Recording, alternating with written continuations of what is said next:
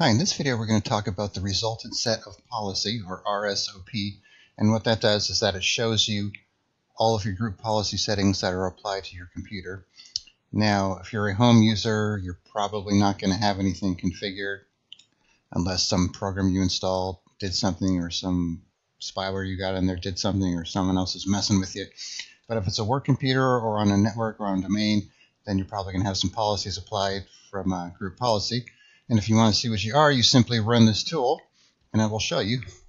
But first, before we do that, we're going to set some up. So let's say let's do some settings here. Let's go down to Windows Update and let's configure some policy settings here. Let's change this to enabled.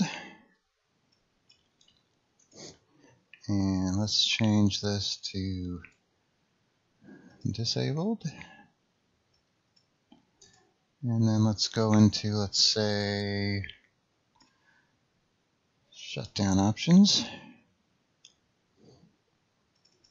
Let's enable that. Okay, and now we're going to go do the same thing for user settings. So these apply to the computer no matter who's logged on. These will apply to the user. So let's go to, let's say control panel,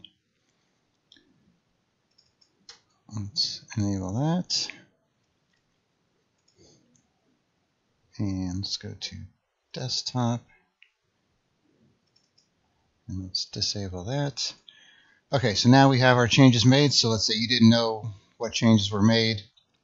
You just know something's acting weird. Like let's say you can't get into control panel or you can't change your desktop wallpaper. So what you want to do is from start here in the search box or from Cortana if you're on Windows 10, just run RSOP and hit enter or you could click on rsop.msc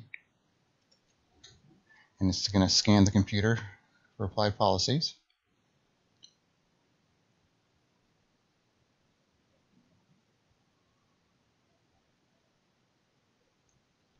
Okay, so now you'll notice that. Okay, let's go back to computer configuration where we changed those uh,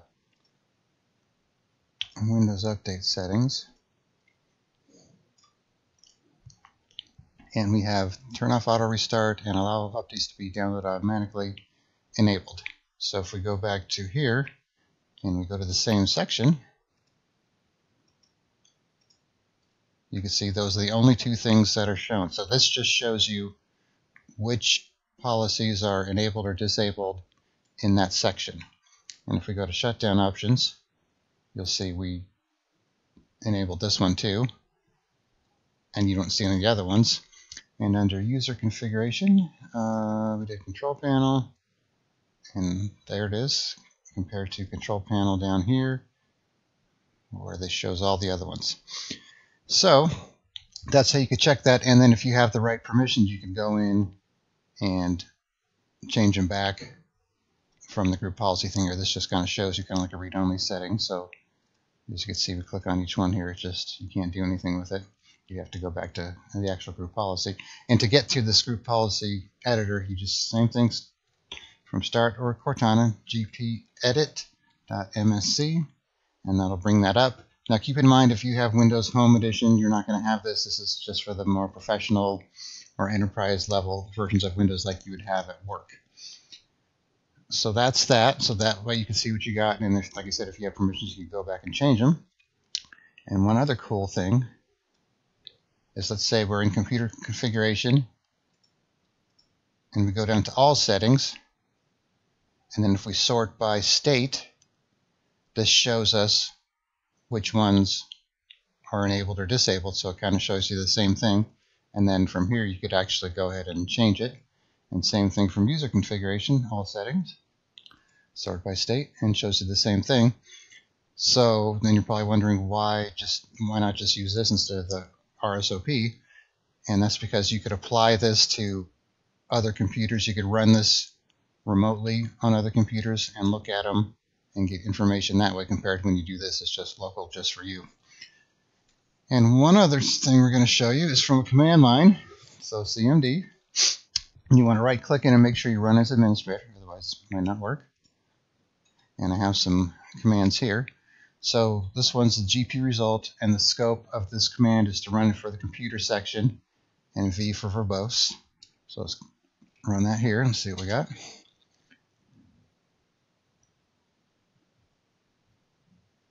Okay, so you can see back to the top here, just kind of shows us our information, OS version, and last time group policy was applied, and so on. And if you scroll down, you can see these Windows Update settings that we did. Um, they're in here, and it'll kind of break it down into categories. And so let's clear the screen there. And then we'll run this other one for the user settings, which is this over here.